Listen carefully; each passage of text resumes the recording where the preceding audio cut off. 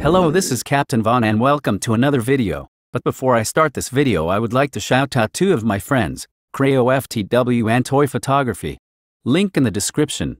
Anyway now to the video. Today's topic is the Rendili Star Drive Dreadnought class heavy cruiser, a vessel used by Grand Admiral Thrawn during his campaign against the Rebel Alliance.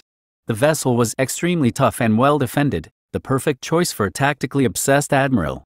Anyway now to the stats. The Dreadnought class heavy cruiser was 600 meters long, 116.5 meters wide, and 129.7 meters tall, including the, the lower sensor array. Despite all the information we are given on this vessel the speed is not mentioned, though the hyperdrive rating is. Its hyperdrive rating was a class 4, standard with a backup class 18, although the vessel was often outfitted with a class 2.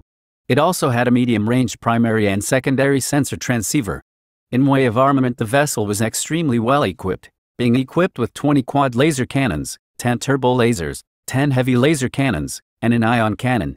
However the vessel was later downgraded to an imperial standard. At this time the vessel's armament was put at 10 light turbo lasers, 5 port, 5 starboard, 20 light dreadnought quad laser cannons, 6 4, 7 port, 7 starboard, and 10 medium dreadnought turbo laser batteries 5 4, 5 aft. The vessel was also commonly modified to carry one warhead launcher and concussion missiles.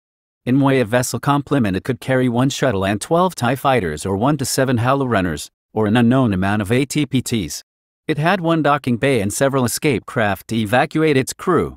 It could be operated by a minimum crew of 9,000, and could carry 3,000 passengers, 9,000 metric tons of cargo, and 1 to 2 years of consumables along with the minimum crew. The vessel was introduced at approximately 119 BBY, though it was not available for sale outside of military use. The vessel could be used as a patrol craft, a small battleship, or a convoy escort vessel, and its affiliation varies.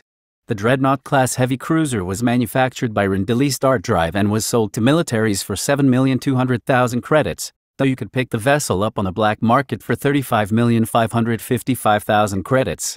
Anyway, that's all for today, and until next time, I'm Captain Vaughn, and thank you for watching.